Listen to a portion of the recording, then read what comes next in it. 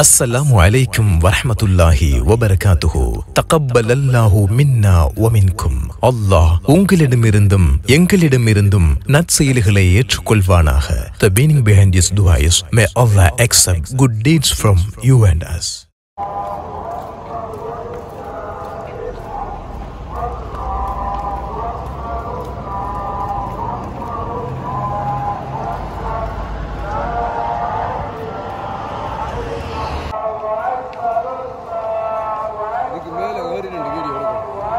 خيري ما شاء الله